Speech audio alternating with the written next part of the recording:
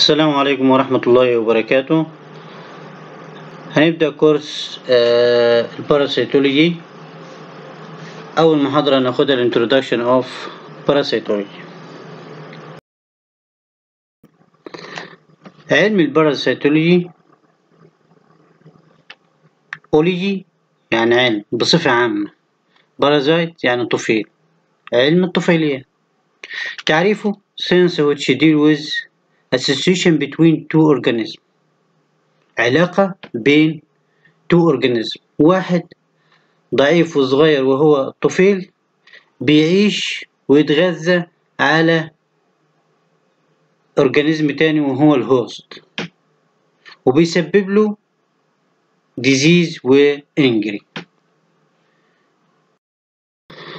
parasite دي كلمة يونانية تعني eating at the side of para بمعنى alongside و sitos بمعنى food.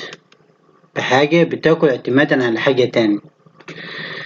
بصفة عامة ال animal association أو بنسميها symbiosis تنقسم إلى خمس حاجات. mutualism commensalism parasitism predation و cannibalism أول حاجة mutualism دي mutual benefit منفعة obtained by both organism والمنفعة دي مفيدة للاتنين. زي ال flagellate اللي بتعيش في ال alimentary tract of termite termites يعني النمل الأبيض. نوع من أنواع النمل اللي بتعيش فيها ال flagellate دي أو السوطيات. هي ما بتقدرش تهضم السلولوز. فال flagellate بتهضم لها السلولوز ففي نفس الوقت ال flagellate تستفاد وهي تستفاد من عملية الهضم. مثال تاني زي البكتيريا النافعة اللي بتعيش في ال rumen of ruminant وال human being البكتيريا النافعة اللي موجودة في الإنسان أو الحيوانات بتساعد في عملية الهضم نفس الوقت هي تستفاد وتفيد الحيوان أو الإنسان. تاني حاجة ال commensalism one of both organism benefit.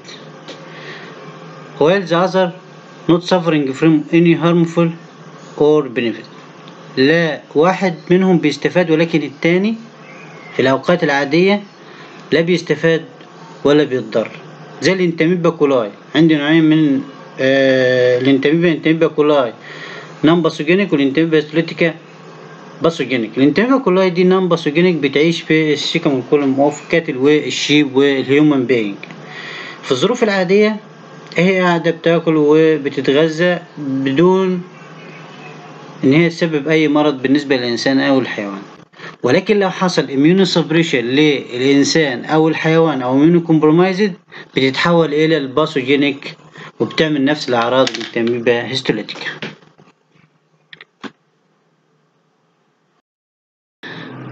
parasitism هو موضوعنا السنة دي إن شاء الله. One of partners benefit nourishing itself قاعد آكل شارب نايم اعتمادا على ال host. مش بس كده ده بيسبب له disease أو injury زي معظم ال parasites اللي هناخدها إن شاء الله في المنهج. والرسم التوضيحي ده بيبين لك ال mutualism إن ال two organism بيستفادوا ال commensalism واحد بيستفاد والتاني لا بيستفاد ولا بيتضر ال parasitism واحد بيستفاد والتاني بيتضر رابع حاجة ال predation predation يعني افتراس. Larger stronger animals أو organism بسميه ال predator المفترس بيتغذى على smaller and weaker animal وهو ال prey مفترس وفريسة زي ما إحنا شايفين اهو النمر والحمار الوحشي والقط والفار. Cannibalism افتراس. بس بيختلف عن ال predation إزاي؟ إن ال animal بيتغذى على ال animal القوي أو ال organism القوي. بيتغذى على ال dead or living body of young individual of the same species من نفس الفصيل بتاعه. هناك كنا بنقول القط والفار لكن شايفين هنا حتى في الصورة بتوضح لي إن هو من نفس القطيع بتاعه أو من نفس الفصيل بتاعه. ودي ظاهرة مهمة جدا في الدواجن مزارع الدواجن. لما بيحصل نقص في الفيتامينات والأملاح هتظهر آه، يجي ال owner يقول لك إن بشوف طيور بتتغذى على طيور تاني ومسببة لها injury في جسمها. تعرف إن لما حصل نقص في ال- المineral والفيتامين بدأت عادة ال cannibalism أو الافتراس. إيه ال forms أو ال type of parasitism أول حاجة اصنفهم على حسب ال location. بمعنى إن لو الطفيليات بتعيش على ال skin of host الجلد الخارجي لل host سواء ال animal أو ال man بسميها ectoparasite في الحالة دي بتكون infestation زي ال scabies أو ال mange الجرب ال hard tick القراد زي ما إحنا شايفين في الصورة أهو. لكن endoparasite بيعيش في ال internal organ of host زي معظم ال helminths اللي هناخدها وال protozoa اللي هناخدها إن شاء الله في course مع بعض.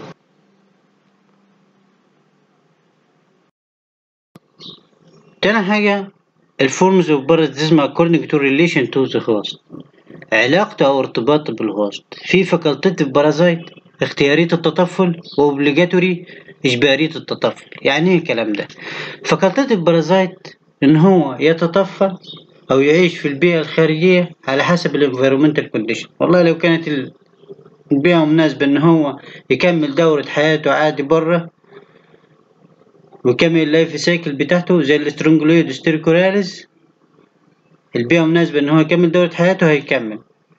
مش مناسبة إن هو يكمل دورة حياته ف هيكملها جوه ال host ويتطفل. بس في الحالة دي facultative parasite يعني اختياري التطفل على حسب مزاجه أو ما يناسب. obligatory ده اجباري التطفل يعني ما يقدرش يعيش بره ال host incapable of existence if separated from its hosts. زي معظم ال helminths وال protozoa اللي هناخدها مع بعض في المنهج. ال forms of parasitism according to time spent, spent within host يا إما temporary parasite مؤقت. زي الموسكيتوس والبعوض بتيجي على جلد الإنسان تاخد الوجبة بتاعتها البلاد ميل وتمشي. ده attack the host from time to time for meal. زي ما قلنا البعوض. Permanent parasite معظم بيقضي معظم يعني بارازيت دائم مع الطفيل يعني بيقضي معظم الحياة بتاعته على أو جوه الطفيل. زي معظم ال helminths وال scabies أو ال mange الجرب أو ال protozoa طيب تالت حاجة ممكن يكون periodic دوري.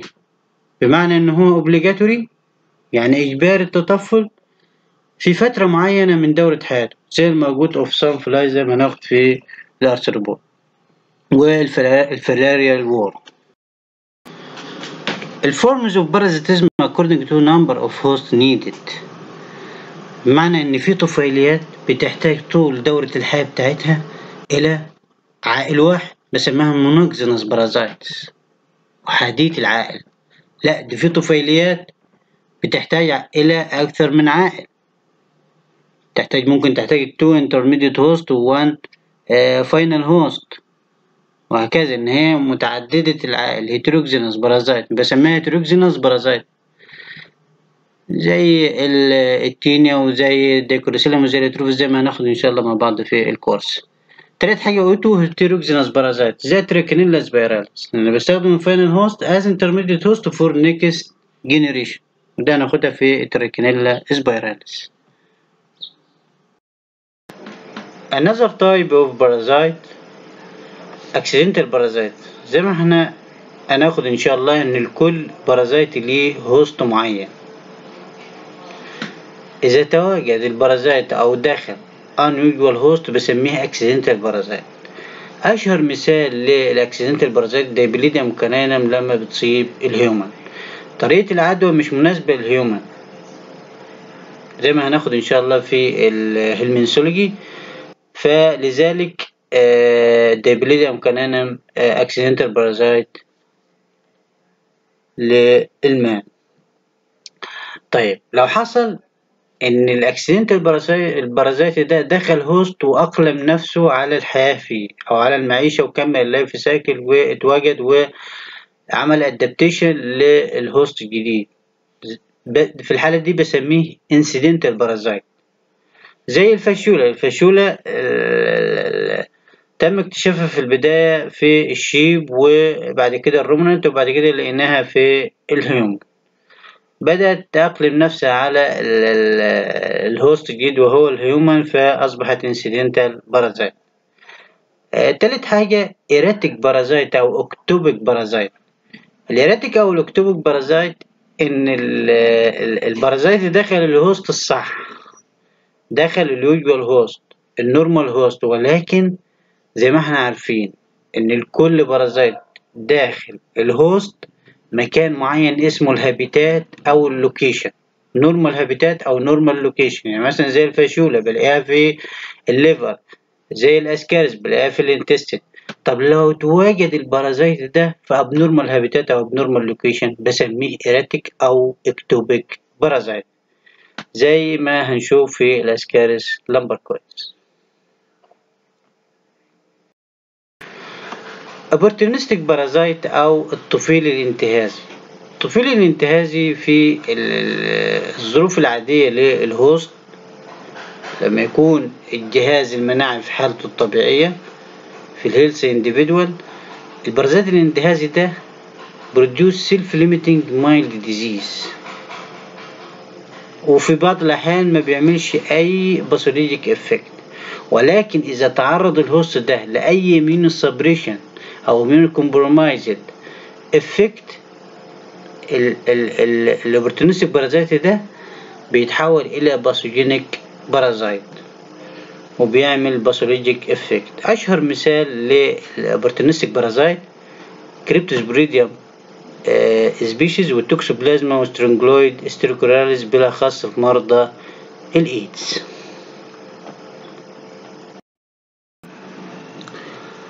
ال host ده ال organism which harbors parasites بيستضيف ال parasites and supplies them with nourishment and الشيلتر أو الهابيتات بيمدوا بالغذاء وال shelter المأوى أو الهابيتات في مكان البارازيت زي ما قلنا في الهوست. ولكن نظرا لأن ال parasite ده ندل وخاين ومصنش العيش والملح فبيعمل لل host injury أو disease وفي بعض الأحيان بتكون fatal disease زي الملاريا. طيب ال type of host دايما ناخدهم بالتفصيل definitive host أو final reservoir host أو بعض ال text book بتكتبه carrier host تلاتة intermediate host. العائل الوسيط. أربعة ال paratenic أو transport host العائل الناقل. خمسة وهو ال vector. بيكون عادة arthropod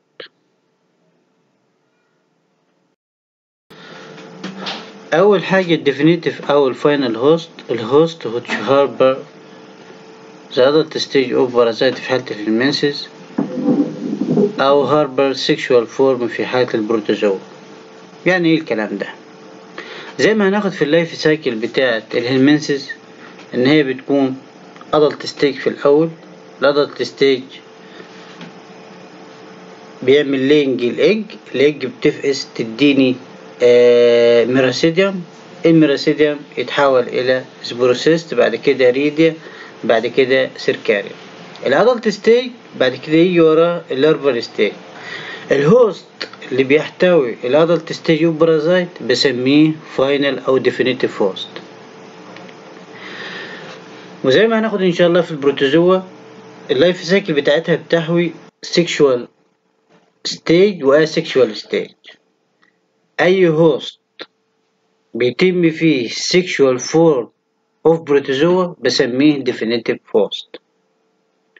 طيب ال reservoir host ال reservoir host ده ليه تعريفات كتير. يعني شفت كذا تعريف ليه في كذا textbook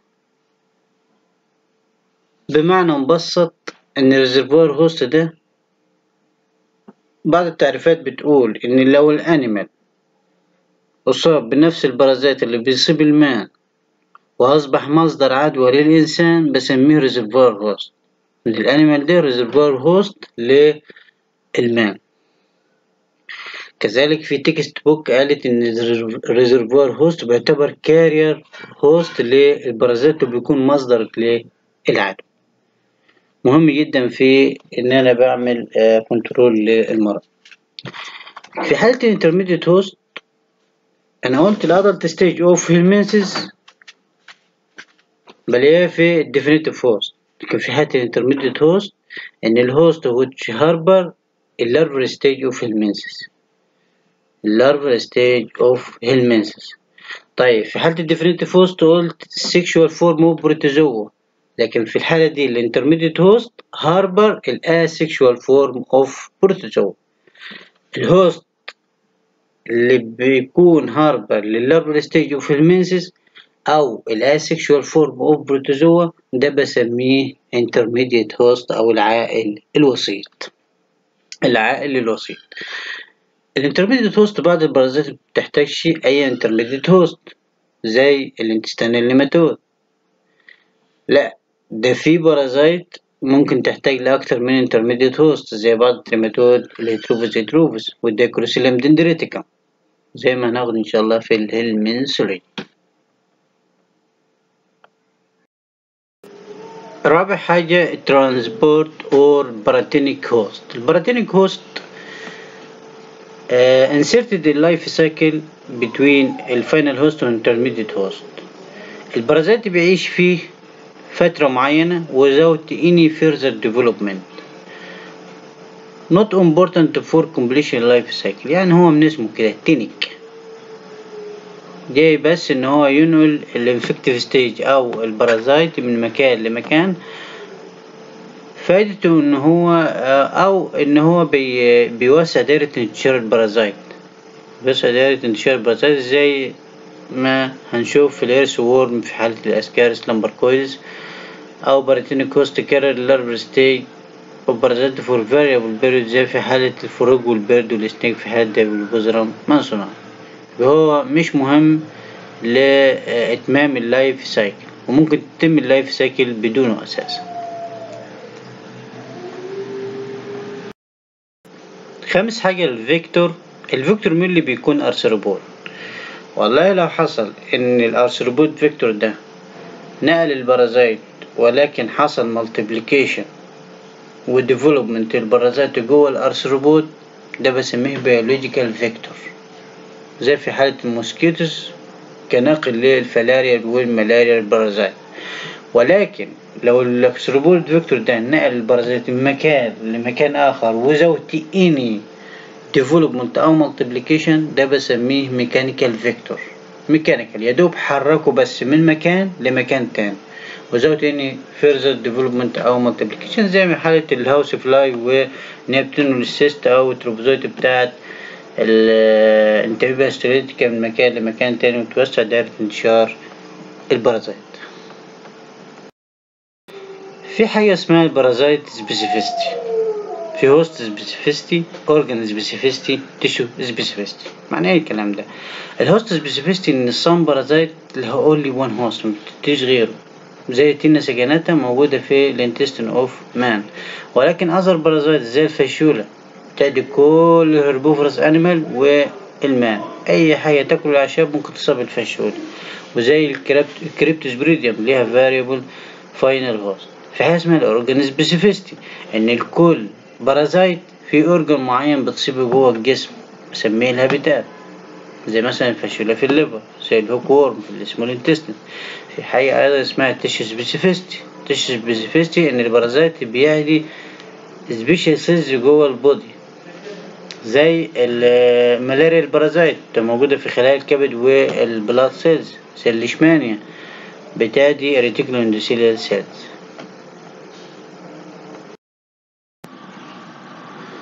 Source of parasitic infection. إيه مصادر العدوى بالطفيليات المختلفة؟ أول وأهم مصدر يمكن هو ال water. ال water بيعتبر source للإصابة بالعدوى بالديدان والأوليات المختلفة. ليه؟ لأن في بعض الديدان أو ال protozoal المز أو ال protozoa في مرحلة معينة لازم تتم في المية. لو مش موجودة المية مش هتكمل دورة الحياة. فالمية مصدر للإصابة بمعظم الأوليات وال helminths المختلفة لأنها بتحوي ال protozoal cyst وال helminths egg كمان إن المية فيها intermediate host لكتير من الديدان زي ال nematode وال trematode ال snails القواقع المختلفة في ال trematode وفي معظم ال trematode ما بتتمش دورة الحياة غير لما يكون فيه snail intermediate host وال snail موجود في المية. فلو ما كانش موجود ال snails مش هتكمل دورة الحياة وهتقف لحد المرحلة دي. كمان الإصابة بالبلهارسيا الإصابة بالبلهارسيا سواء في الإنسان أو الحيوان بيكون متواجد في مياه ملوثة والسركرية زي ما هناخد إن شاء الله في دورة حياة الديدان المختلفة بالنسبة للإصابة بال Schistosoma ال infective stage بتاعتها بتكون عن طريق إن السركلية بتكون موجودة في المية وتعمل penetration لل skin of the human and ال animal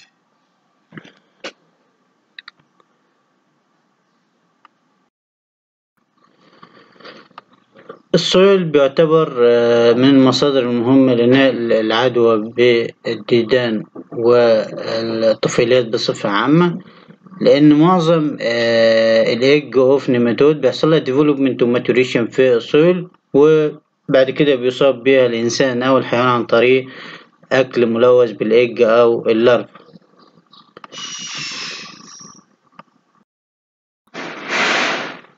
تالت مصدر وهو ال vegetable وال fruit. إزاي بيكون ال vegetable وال fruit كمصدر للإصابة بال parasitic infection؟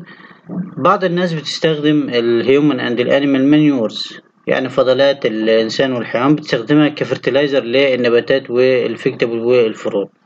فلو الإنسان والحيوان مصاب إصابة طفيلية بتنزل ال egg مع ال stool طبعا يستخدم ال excreta بيستخدمها كسماد عضوي في رش النباتات والفواكه. ال infective stage بتلزق في النبات دي ياكلها الإنسان تاني أو حيوان يصاب بالديدان المختلفة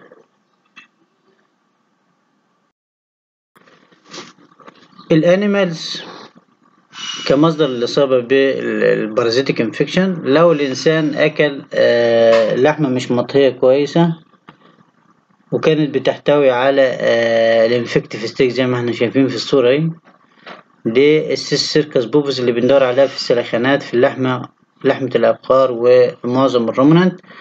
فدي لو اللحمة مش مكشوف عليها كويس وأخدتها أنت وفيها ال cyst دي وما اتطهتش كويس فتاكلها فتصاب بال Taenia saginata السيست بتكبر بتتحول للأدلت في الانتستين اوف هيومن آه كمان لو آه البورك بيكون مصدر للإصابة بالتينيسوليوم والتريكانيلا سبايراليس الفيش بيعتبر مصدر للإصابة بالهيتروفوز والتروفوز والديف بوزرام لاتم الإنفكتيف ستيج موجود في الماسل أوف فيش فياكلها الإنسان فتنمو إلى adult في ال intestine of human أو ال fish eating animal.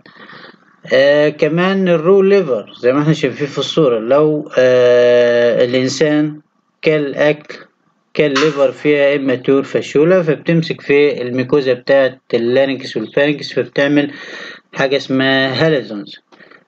كمان زي ما إحنا شايفين في الصورة اللعب مع ال dogs وال cats المختلفة ممكن يكون شعرها ملوث بالإيج لطفيليات معينة زي ال Toxocara canis وال Toxocara cati.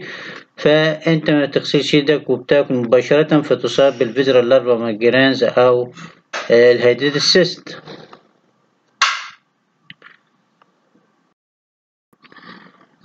arthropod زي ما خدنا إن هو بيعتبر vector لبعض ال- ال- parasite والبكتيريا والفيروس ممكن يكون mechanical أو biological لو حرك ال- ال- ال- ال- microorganism من مكان للتاني بدون أي development ده mechanical لكن لو حصل development لل parasite أو البكتيريا أو الفيروس سواء multiplication أو development في ال arthropod vector ده بعتبره biological ال contact لو إنسان مصاب ب scabies أو lice أو حيوان مصاب ب hard tick وجه حيوان أو إنسان حصل contact معاه بينقل له الإصابة.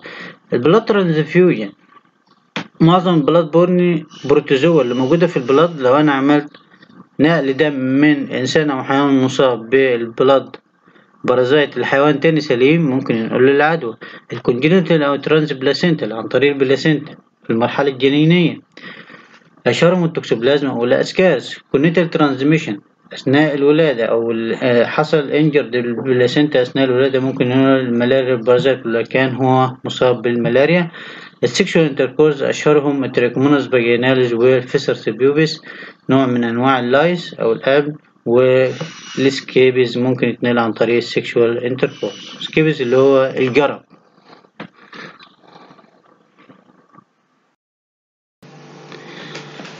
ال life cycle of parasite بتتم بثلاث مراحل. first stage أو first part بيكون outside the final host سواء في ال soil في ال water في ال intermediate host as snails أو arthropod أو fish أثناء المرحلة دي بيتكون ال infective stage infective stage يعني إيه؟ يعني الطور المعدي. الطور اللي بياخده. الطور من البارازايت اللي بياخده ال final host وبيسبب العدوى.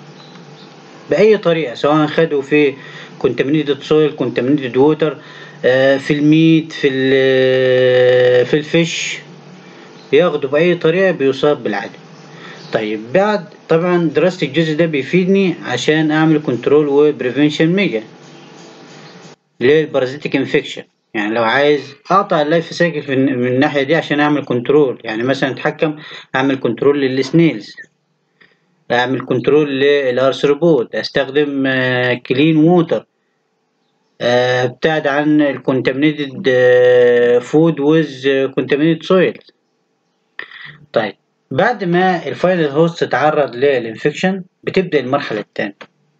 تبدا المرحلة الثانية إن ال parasite بيروح لل final habitat بتاعه جوه جسم ال final host بيتنقل من مكان للتاني زي ما هناخد في ال life cycle بتاع ال parasite المختلفة إن هو بيتنقل من مكان لمكان لحد ما بيوصل لل final habitat بتاعه.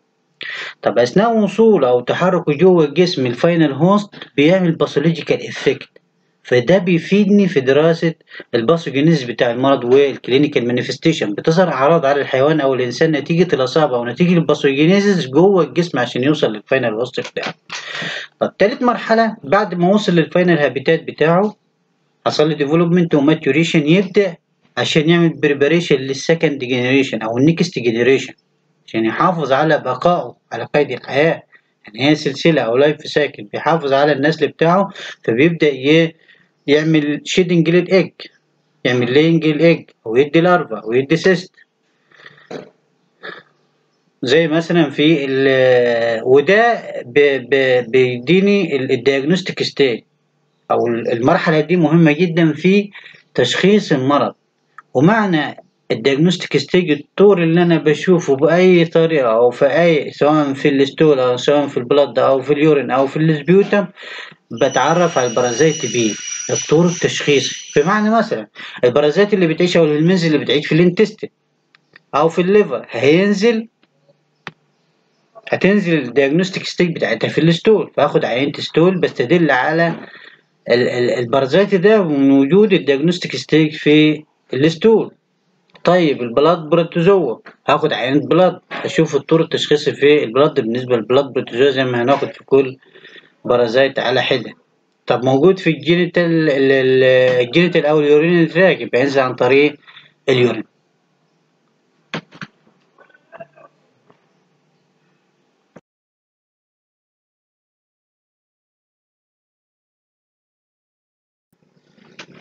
ال mode of infection إزاي ال final host يصاب بالعدوى بالديدان أو الطفيليات المختلفة؟ تلات حاجات. يا إما ال mouth ياكل آه، أكل أو شرب ملوث بال infective stage سواء ال egg أو ال cyst أو عن طريق ال dirty finger ال skin. تاني حاجة ال skin. إن ال cercaria of Schistosoma بتعمل penetration ال skin وبتكمل دورة الحياة أو ال larva of some nematode ال contact زي ما قلنا لو إنسان أو حيوان مصاب ب ectoparasite وحصل contact بينه وبين حيوان تاني بينقل له العدوى. ال insect bite عن طريق لدغ الحشرات بتنقل معظم blood protozoal parasite و آه، ممكن يكون عن طريق ال blood transfusion وال contaminated syringe. تالت حاجة البودي أورفيس زي النوز والاير واليوسا والفاجينا بعض الفلاي بتحط تعمل لينج للايج واللارفات فبتعمل ميز في البودي أورفيس. إنهاليشن ممكن آه، حيوان أو إنسان ي- ياخد الطور بتاع ال Enterobius vermicularis عن طريق inhalation عن طريق التنفس.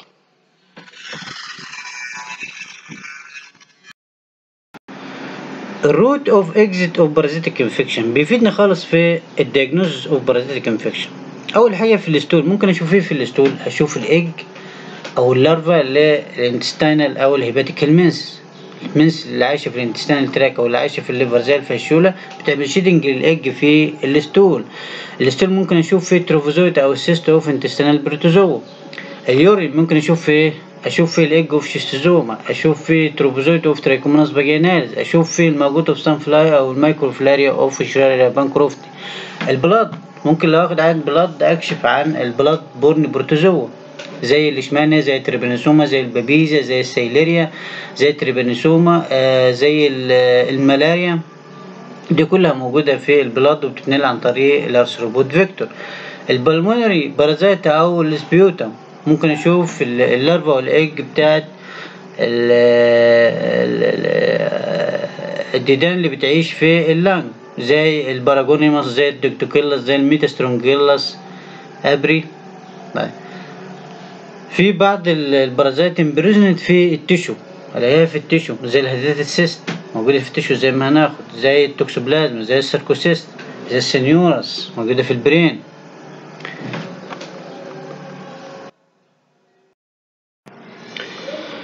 ال effect of parasite on hosts بيعتمد على كذا حاجة. آه، أولهم ال number of parasites لو العدد قليل هيكون التأثير على ال host آه، غير ملحوظ. ولكن لو heavy infection بيكون بصاحبه severe infestation كل ما زاد عدد ال parasite في ال host كل ما كان أخطر على ال host ال size of parasite كل ما كان حجمه أكبر فبيأثر ميكانيكيا على العضو أكتر. ال habitat والله اللي موجودة في الليفر واللانج والأورجن والامبورتنت أورجن زي البرين وال- والهارت بيكون طبعا أخطر. ال species of parasite في species بتكون harmless يعني ملهاش أي خطورة. متعايشة مع الإنسان ولكن في species تانية بتكون خطرة جدا زي الملاريا ال Ascaris. Fasciola ال hookworm بتكون أخطر من الأنواع التانية.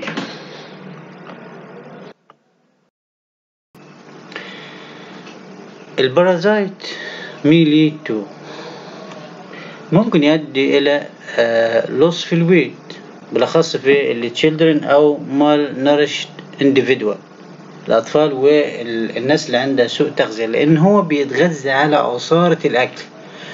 معظم الهابيتات بتاعت الهلمنسز أو البورتوزوا في السمول انتستين والسمول انتستين هو اللي بيحصل فيها امتصاص للغذاء عشان يستفاد منها الجسم. قبل ما يمتص الجسم هي تمتص وتستفاد منه فبذلك بتؤدي إلى loss في ال weight ممكن تعمل أنيميا عن طريق إن هي suck ال blood من ال host بعض ال helminths بتعمل sucking ال blood من ال host عن طريق إن هي بتفرز toxins بتأثر على ال life span of RBCs بتقلل العمر الافتراضي لل RBCs زي مثلا الشيستوزوما والهيك وورم والليشمانيا والدبلوبوزرم اللاتم والبابيزيا وزي ما هناخد في آه، ال course. تالت حاجة ممكن تعملها ال destruction لل tissue. قلنا عشان تصل إلى ال final habitat بتاعها لكل parasite ليه final habitat. أثناء الرحلة بتاعت ال migration عشان يصل إلى ال final habitat بتاعه بيعمل destruction لل tissue و pathologic pathologic effect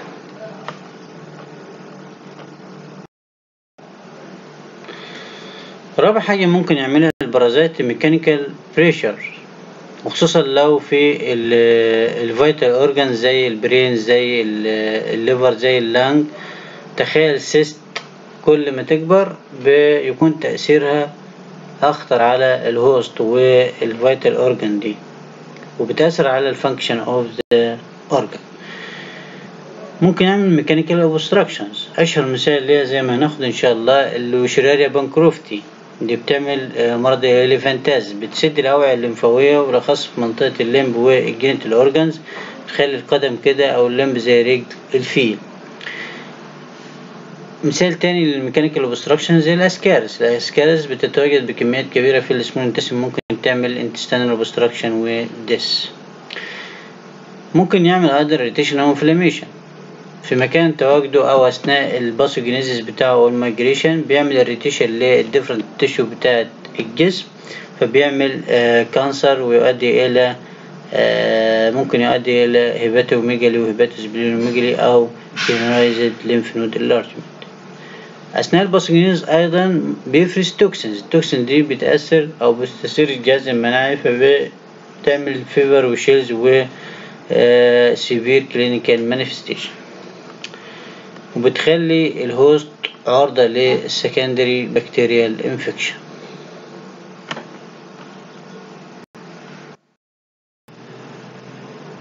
الديدان طبعا ك foreign body على الجسم بتعمل allergic reaction بعض الديدان اللي هي موجودة في ال central nervous system بتعمل nervous manifestation آه وبعض الديدان التانية ممكن تعمل congenital anomalies زي ال Neospora caninum toxoplasmosis كان ممكن تعمل ابورشن زي التوكسوبلازما زي النسبوريك انانم زي التريبانوسوما زي البابيزيا والسيليريا البابيزيا والسيليريا هي ما مش transplacental ولكن هي بتعمل نتيجة إن هي بتعلي حرارة الجسم عن أربعين أو واحد وأربعين درجة. طبعا الأطفال لو أصيبوا في الصغر ومتمش علاجهم بسرعة من الديدان دي بتأثر على ال mental concentration مستوى التركيز والمستوى البدني بتاعهم ومستوى الفهم. بتخلي الإنسان طبعا مصاب سواء بال elephantiasis أو ال chronic schistosomiasis disability to work يتعب بسرعة. Some parasites have very grave prognosis زي الملاريا طبعا من أخطر الأمراض على مستوى العالم؟ تقريبا بيموت منها سنويا حوالي خمسمية ألف.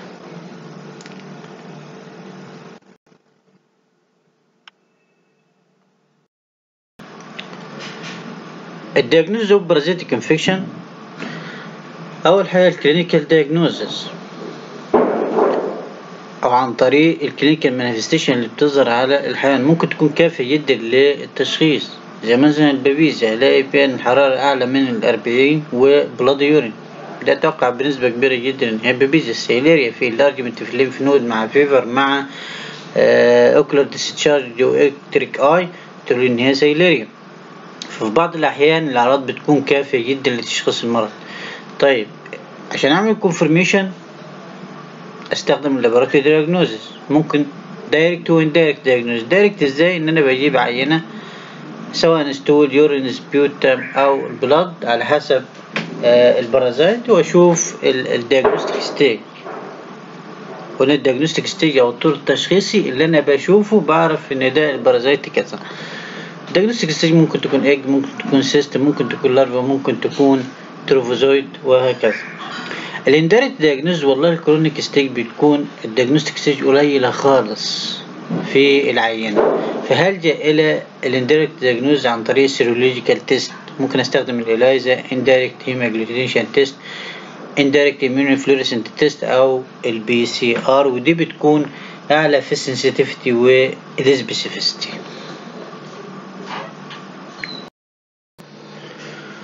ممكن نستخدم أيضا في تشخيص ال biopsy muscle biopsy أو skin biopsy. في حالة ال Trichinella أو ال Onchocerca ممكن استخدم external ال spinal punctures في حالة ال trypanosomiasis وال amoebic meningoencephalitis ممكن استخدم culture media حالة ال Entamoeba Trichomonas ال Leishmania وال Trypanosoma ممكن أعمل animal inoculation بعملها في حالة ال Trypanosoma وال Leishmania أو أستخدم الأشعة التشخيصية أشعة X-rays أو xenodiagnosis أو sternal puncture بستخدمها في حالة ال visceral leishmaniasis وال Toxoplasma وال chronic malaria. دي معظم طرق التشخيص وهناخد إن شاء الله كل حاجة بالتفصيل في الطفيليات المختلفة اللي هناخدها مع بعض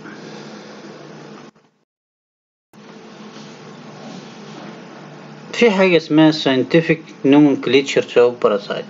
يعني تسمية ال parasite زي ما إحنا عارفين إن ال kingdom أو المملكة بتشمل مجموعة من ال phylum. ال phylum يشمل مجموعة من ال order. ال order يشمل مجموعة من ال class.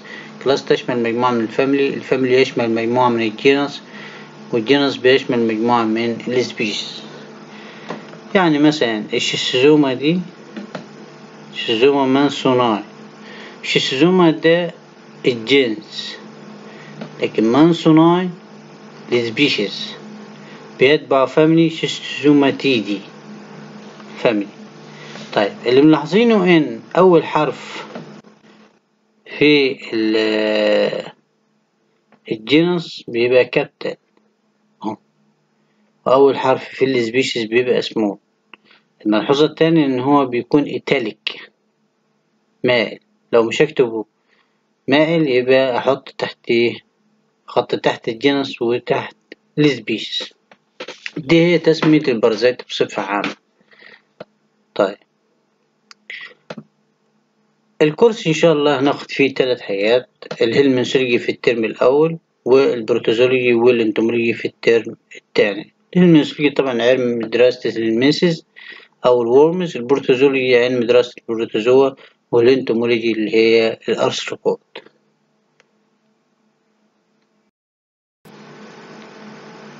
هذا وبالله التوفيق وشكرا.